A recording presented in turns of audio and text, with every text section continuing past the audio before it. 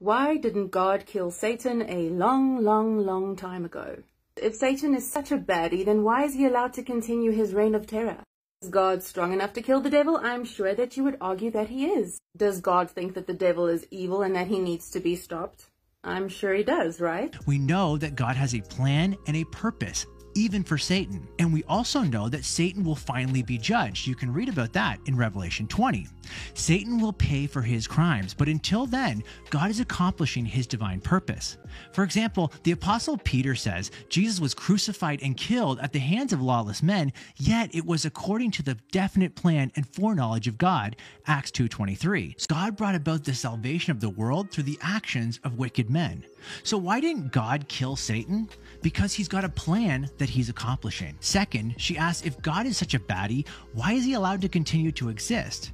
Well, I think it's the same reason he allows any baddie to exist. Remember, Satan isn't the only bad guy. We all have sinned and fall short of the glory of God, Romans 3:23, and we're by nature children of wrath, Ephesians 2:3.